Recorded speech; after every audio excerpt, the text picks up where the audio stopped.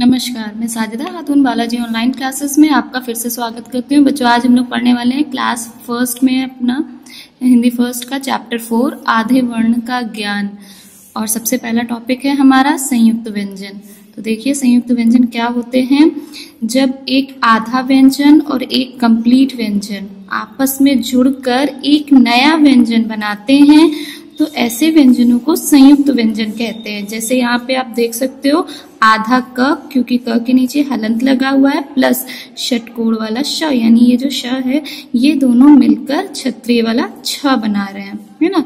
तो ये ये हमारा संयुक्त व्यंजन कहलाएगा। जैसे कक्षा, क्षत्रिय, इसमें छ संयुक्त व्यंजन है, यहाँ पर भी छ संयुक्त व्यंजन है। इसी तरह हमारा दूसरा वर्ण है, त और र। यहाँ पर आधा त और र आपस में मिलकर बना रहे हैं त्र। जैसे पत्र और त्रिशूल। ज, आधा ज और इया ये दोनों आपस में जब मिलते हैं, ये दो व्यंजन तो ये क्या बनाते हैं? ज्ञ। तो ज्ञा भी हमारा संयुक्त व्यंजन है, जिस, जैसे यज्ञ और ज्ञानी। अब यहाँ पर आप देखिए, श, आधा, श और र, ये दोनों मिलकर बना रहे हैं श्र। तो जिससे बन जाता है श्रवण और श्रमिक। इसमें जो श्र है, ये संयुक्त व्यंजन है, यहाँ का भी श्र संयुक्त व्यंजन है। अब हमारा दूसरा टॉपिक आता है, द्वित्व व्यंजन। द्वित्व व्यंजन क्या होता है? इसमें दो सेम सेम व्यंजन जब आपस में मिलते हैं उसमें भी एक वर्ण आपका आधा होना चाहिए और एक वर्ण आपका कंप्लीट होना चाहिए। तो जब दो सेम सेम व्यंजन आपस में जुड़ते हैं तो वहाँ पर होता है द्वित्व व्यंजन।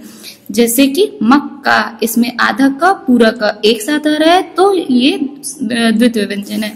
चक्का तो यहाँ पर भी ये द्वितीय व्यंजन है। इसी तरह ये कोई भी वर्ण, कोई भी व्यंजन हो सकते हैं, जैसे त त, पत्ता, कुत्ता, न न, गन्ना, पन्ना ट लट्टू और टट्टू। अब यहाँ पर आप बिल्ली भी कर सकते हो या दिल्ली भी कर सकते हो, क्योंकि उसमें भी आधा ल और पूरा ल एक साथ आएगा। अब हमारा थर्ड टॉपिक है यहाँ पर। संयुक्ताक्षर तो जैसा कि हम लोगों ने द्वित व्यंजन में पढ़ा था कि उसमें दो व्यंजन जो होते हैं सेम सेम होते हैं। तो इसमें इसको, उसके जस्ट अपोजिट दो व्यंजन तो होते हैं, लेकिन ये दोनों अलग अलग होते हैं एक दूसरे से। जैसे यहाँ पर आप देख सकते हो आधा छ और पूरा छ तो ये मिलके क्या बना दिए? गुच्छा, मच्छर। तो जब आपको ऐसे व्यंजन एक साथ दिखे, जिसमें दोनों अलग अलग हो और एक आधा और एक कंप्लीट हो तो यहाँ पर होगा संयुक्ताक्षर। ल और ह, आधा ल और ह। तो ये क्या बन गया? कुल्हड़ और कुल्हाड़ी। इसी तरह क और ख। यहाँ पर आपका क आधा है और ख कंप्लीट है। तो क्या बन जाएगा? मक्खी और मक्खन। तो ऐसे वर्ण आपको कहीं भी दिख सकते हैं तो वो क्या कहलाएँगे? संयुक्ताक्षर कहलाएँगे। अब आता है हमारा अगला टॉपिक रेफ्र इसकी जो मात्रा होती है, ये सर पर सी की तरह लगी होती है। और इसको देखिए इसमें हमारा आधा वर्ण जो होता है, वो होता है र। ये र हमारा आधा होता है और इसमें जिसके भी ऊपर ये वर्ण, जिसके भी ऊपर ये रेफर लगा होता है, वो कंप्लीट होता है। तो यहाँ पर प के ऊपर रेफर लगा है तो र आपका आधा होगा और प आपका कंप्लीट होगा। और इसमें जो र होता है, उसको हम लोग बिफोर पढ़ते हैं, यानी पहले। इसका उच्चारण हमारे वर्ण से, जो हमारा कंप्लीट वर्ण होता है, उससे पहले होता है। जैसे स और प के ऊपर रेफरा यानी सर्प, र पहले आएगा प बाद में। इसी तरह यहाँ पे द, र पहले आएगा तो दर, प दर्पण। अब आता है हमारा लास्ट टॉपिक पदेन र। पदेन र की मात्रा आपकी ऐसे होती है या ऐसे होती है? तो इसमें क्या होता है?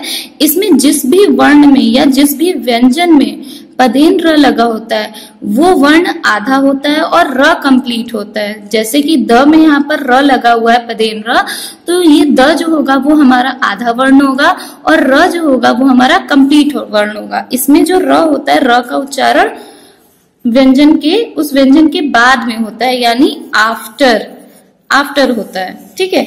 जैसे यहाँ पर ट्र ट आधा है और र हमारा कंप्लीट है। तो यहाँ पे पढ़ लेंगे।